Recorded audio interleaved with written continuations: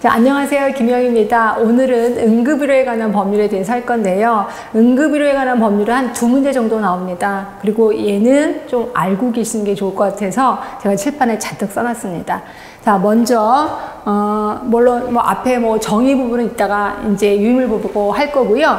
요거 하나 보려고 해요. 자, 응급환자가 아닌 사람에 대한 그 조치. 그래서 이제 응급실에 응급환자가 왔고 누가 봐도 응급 환자가 아닌 사람이 온 거예요. 자, 이랬을 때 누구부터 할까요? 네, 응급 환자 당연히 합니다. 그럼 응급 환자가 아닌 사람은 그냥 나 몰라라 할까? 이러면 큰일 나겠죠. 그럼 뭐라고 하냐면 본인은 응급 환자가 아닙니다. 그러면 이 사람이 뭐라 그랬어요? 그럼 저 어떻게 할까요? 그러면 어, 외래에 가셔서 외래 무슨 과에 가셔서 진료하세요 라고 안내를 해드려야 돼요. 그죠? 그런데 이제 문제는 응급 환자가 두 분이 오신 거야. 그럼 두 분이 오면은 도착순인가요? 아닌 건 아시죠? 그래서 응급실에 와서 제일 무식한 분이 내 먼저 왔는데 왜 나부터 치료 안 해줘요? 하는 사람 무식한 사람입니다. 그럼 뭐예요? 의학적 판단에 근거해서 더 위급한 사람부터 먼저 하게끔 되어 있습니다. 자 그러면 응급 환자를 진료할 때 무조건 진료하느냐? 아니에요. 설명하고 동의를 얻어야 돼요. 그 사람이 예 해주세요 라고 하면 치료를 하게 됩니다. 자, 그런데 자 이분이 그러니까 본인이 의식 이 있으면 본인한테 설명하고 동의를 받으면 돼요. 근데 이분이 의식이 없어. 또는 어, 조그만 어린아이야. 저 이럴 때는 어떻게 하느냐? 근데 같이 오신 분이 있을 거 아니에요. 이제 그분한테 물어봐요. 어떻게 되시나요? 라고 그랬는데 이분이 아 보호자래. 그럼 보호자한테 예, 설명하고 동의를 얻어야 돼요. 자, 그런데 나는 보호자는 아닌데 지나가다가 얘가 하도 아파해서 그냥 데리고 왔대. 그냥 동행인이래. 그러면 동행이니까 상관이 없 다. 없으니까 설명 안 하나? 아니에요. 그래도 설명은 하셔야 돼요. 설명을 하되 동의까지 받을 필요는 없습니다. 자, 그런데 이제 문제는 이 사람이 보호자예요. 그래서 이제 설명하고 동의를 이제 받으려고 했거든요. 근데 이분이 동의를 안 해주는 거야. 그냥 내버려 두세요. 이렇게 살다가 돌아가시게. 이렇게 얘기하는 거야. 이럴 땐 어떡하냐 이거죠. 이럴 때 아, 분명히 동의 안 하셨죠. 그럼 저 치료 안 해요. 이러다가 또 돌아가시면 딴소리 하거든요. 그래서 이럴 때는 어떻게 하냐면 음, 그런데 동의를 안 했지만 반드시 치, 치료가 필요해. 이럴 때는 동의 없이도 의료인 한 명의 동의를 갖고 그러니까 의료인 한 사람이 동의를 하면 바로 치료를 할 수가 있다라고 보시면 돼. 그래서 그런 얘기들이 쭉 있을 겁니다. 자, 그 다음에 이 법의 하이라이트가 요거예요. 그러니까 응급의료 기관을 얘기하는 건데 우리나라 응급의료기관은 중앙응급의료센터가 있어요. 여기서는 진료를 보는 게 아닙니다. 그래서 어, 진료를 보는 게 아닌데 보건복지부 장관이 종합병원 중에서 지정을 해요. 그럼 진료를 안 보고 뭐 하는데요? 대부분 응급상황이 났을 때 이제 지원을 해준다거나 연구를 하는 곳이라고 보시면 됩니다. 보건복지부 장관이 종합병원 중에서 지정을 해요. 근데 이제 권역 응급의료센터 여기서부터는 중증 환자 진료를 보고 있거든요. 여기는 보건복지부 장관이 상급 종합병원 또는 300병상 이상의 종합병원 중에서 지정을 하고 있습니다. 그다음에 이제 전문 병원이요.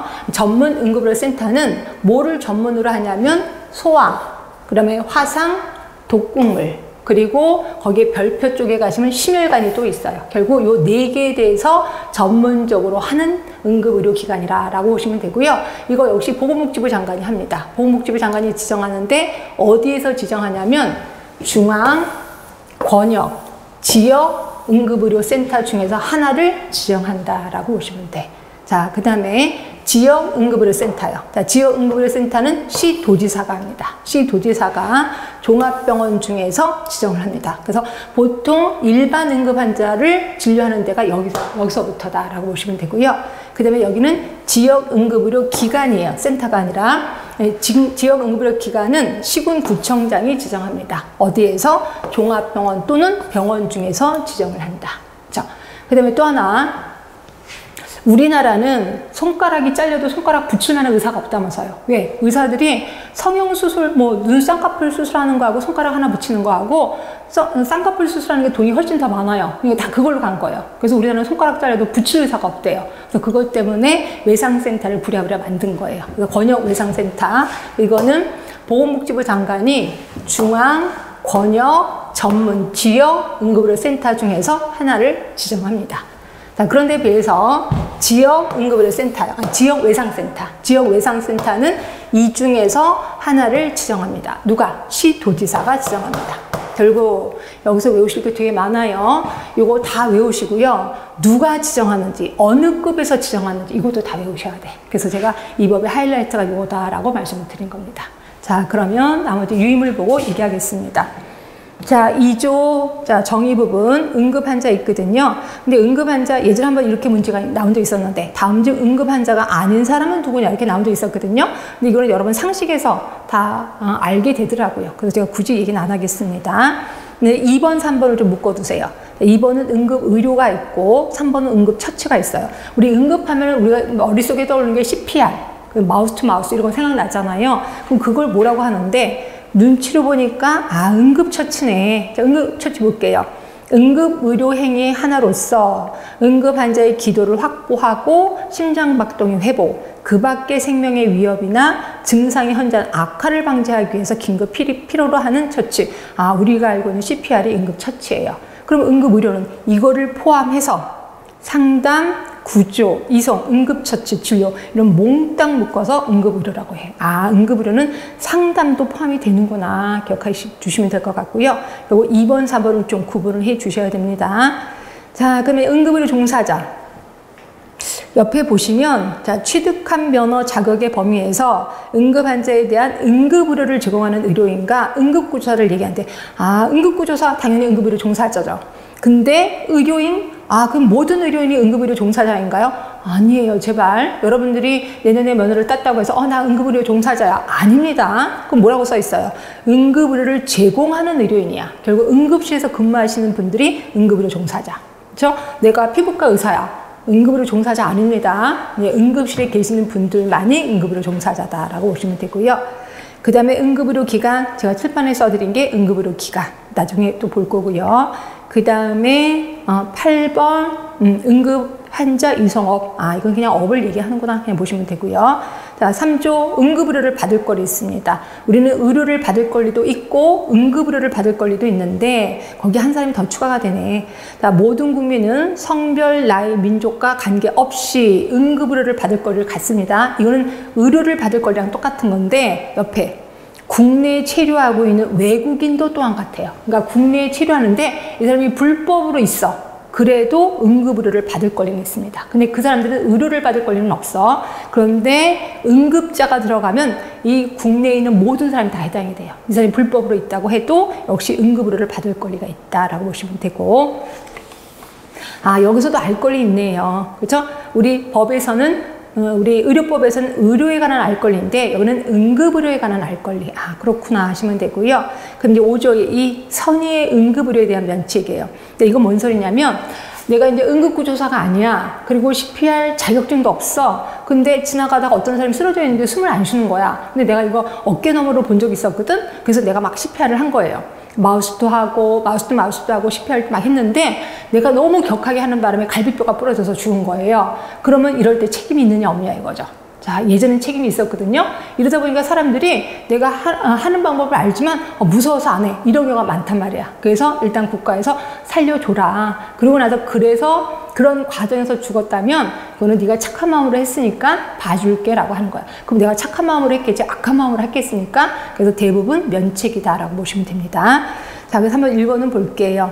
자, 생명이 위급한 응급 환자에게 다음 각호 어느 하나에 해당하는 응급의료 또는 응급처치를 제공해서 발생한 재산상 손해, 사상에 대해서는 고의 또는 중대한 과실이 없는 경우 민사 책임, 상해에 대한 형사 책임을 지지 아니하고 사망에 대해서는 형사 책임을 감면한다. 아, 사망에 대해서 형사 책임을 감면하니까 민사 책임을 질 수밖에 없겠구나라고 보시면 될 것 같아요. 자, 그러면 1번 누가 하는, 하는 경우냐? 자, 다음 각호에 해당하지 아니한 자가 하는 응급처치를 얘기를 해. 응급의료 종사자가 아닌 사람. 그리고 나번에 선박의 응급처치 담당자가 아닌 사람이 행하는 사람. 결국 일반 사람이 했을 때는 면책을 해주겠다는 겁니다. 자, 그 다음에 2번. 내가 응급의료 종사자야. 근데 내가 근무 중이 아닌 퇴근하다가 발견했어. 그러다가 그 사람한테 어떤 손해를 끼쳤어. 이럴 때도 선의의 면책입니다. 그렇죠? 근데 어, 응급의료 종사자가 만약에 근무 중에 할 때는요. 그건 그냥 면책입니다. 그냥 면책. 근데 근무 중이 아닐 때는 선의의 면책이다라고 보시면 되고요. 자, 6조는 응급의료에 대한 거부 금지. 뭐 그렇겠구나 넘어가시면 되고. 자, 7조. 응급 환자가 아는 사람에 대한 조치. 자, 의료인은 응급 환자가 아는 사람을 응급실이 아닌 의료시설에 진료를 의뢰하거나 다른 의료기관에 이송할 수 있다 라고 되어 있는 거고 8조입니다. 응급 환자에 대한 우선 응급 의료. 동그라미 2번에 있죠. 자, 응급의료 종사자는 응급 환자가 두명 이상이면 중요 표시, 의학적 판단에 따라 더 위급한 사람부터 예, 응급의료를 해야 된다. 자, 구조입니다. 응급의료의 설명 동의. 거기 보시면 동그라미 1번에 다음 각호 어느 하나에 해당하는 경우를 제외하고는 설명하고 동의를 받아야 된다. 그래서 1번 응급환자 의사결정 능력이 없어. 2번 자 이런 졸, 저, 그러니까 설명 및 동의 절차로 생명이 위험해져. 그러면 그럴 때면 어쩔 수 없이 그냥 하는 거죠. 근데 1번의 경우 의사결정 능력이 없다면 2번입니다. 보이시지요? 자, 법정 대리인이 동행했을 때는 법정 대리인에게 설명하고 동의를 받아야 돼. 아까 설명드린 겁니다. 법정 대리인이 아니야. 그냥 동행인이야. 그럼 설명만 하고 의학적 판단에 따라 응급 진료를 할 수 있다는 거죠. 자, 그럼 도대체 뭐를 설명하는데 그게 시행규칙 3조에 있습니다. 이런 내용을 1번부터 5번까지 설명하는 거예요. 천천히 읽어보시면 될 것 같고요. 자, 동그라미 3번입니다. 자, 그런데 자, 법정 대리인으로부터 동의를 얻지 못했어. 그런데 반드시 응급의료가 필요해. 그러면 아까 얘기한 것처럼 의료인 한 명 이상의 동의를 얻어서 할 수가 있다는 거죠. 자, 이것도 보시고. 자, 그 다음에 뒤에 가시면 25조. 자, 중앙응급의료센터입니다. 줄 칠 것만 치시면 돼. 보건복지부 장관이 종합병원 중에서 지정할 수 있다. 자, 1번부터 7번까지 일을 하는데 아무리 눈 씻고 봐도 예, 응급환자 진료 없습니다. 그냥 연구하고 지원해주고 이런 것을 하는 거예요. 그럼 26조 권역입니다. 권역 1번 보건복지부 장관이 상급 종합병원 또는 300병상을 초과하는 종합병원 중에서 지정을 해요. 여기 보이시지요? 중증 응급 환자 중심의 진료를 하고 있습니다. 그 다음에 27조는 그냥 넘어갈게. 응급의료 지원센터는 그냥 넘어갑니다. 자, 뒤에 가시면 전문 보이십니다. 전문은 뭐를 전문으로 하냐면 소화, 화상, 독국물 하나 더 집어넣으라 그랬죠. 심혈관에 대해서 어, 응급의료를 위해서 중앙, 권역, 지역 응급의료 센터 중에서 예, 지정을 합니다. 누가? 보건복지부 장관이 하는 거죠. 30조입니다. 지역 응급의료센터. 시도지사가 밑에 보이시죠? 어, 종합병원 중에서 지정할 수 있다. 그런데 응급환자 진료가 여기서부터 들어가는 거죠.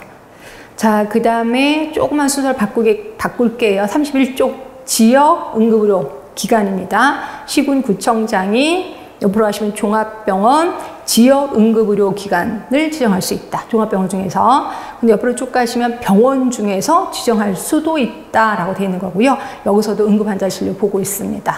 다시 30조의 2로 가세요. 건역 외상센터. 자, 보건복지부 장관이 어, 보시면 외상 환자의 응급의료에 관한 사항에 업무를 수행하기 위해서 중앙 권역 전문 응급의료센터 또 지역 응급의료센터 중에서 지정을 한다. 30조의 3 지역 외상센터 자, 시도지사가 자 보시면 응급의료기관 중 하나를 지정한다라고 되어 있고요. 요번에 새로 들어온 거 있습니다. 이게 30조의 5 정신질환자 응급의료센터 요번에 생긴 겁니다. 보건복지부 장관은 정신질환에 대한 응급의료를 위해서 응급의료기관 중에 정신질환 응급의료센터를 지정할 수 있다라고 되어 있습니다. 결국 여러분은 아 이게 하나 생겼으니까 나올 수도 있겠구나라고 생각하시면 됩니다. 자 오늘 좀 길었지요? 자, 이거 조금 중요해서 일일이 다 써드린 거고 누가 어떤 급에서 지정할 수 있는지 머릿속에 좀 기억하라 그랬고 또 하나 생긴 거 정신질환자 응급의료센터도 하나 생겼구나라고 기억해 두시면 되고 그리고 이것도 시험 문제 자주 나옵니다. 그래서 응급환자가 두 명이 왔을 때 또는 동의를 얻지 못했을 때 이런 거 다 기억해 두시면 될 것 같아요. 자 고생 많이 하셨습니다.